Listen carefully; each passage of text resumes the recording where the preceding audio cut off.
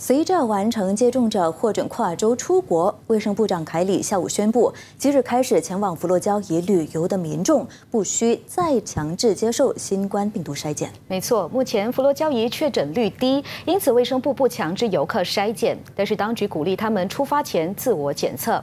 凯里发文告指出，截至这个月十号，五万四千多名旅客前往佛罗交易，当中百分之零点四，也就是两百一十六人确诊，只有一个人在旅游时出现不适症状而证实感染疫情，但是并非在当地感染病毒。佛罗交易在九月十六号推行旅游泡泡以来，不曾爆发感染群。因此，卫生部决定暂停强制筛检措施。但是，当局提醒，只有完成接种者才可以到佛罗交易旅游。出现不适症状或被列为密切接触者都不允许登岛旅游。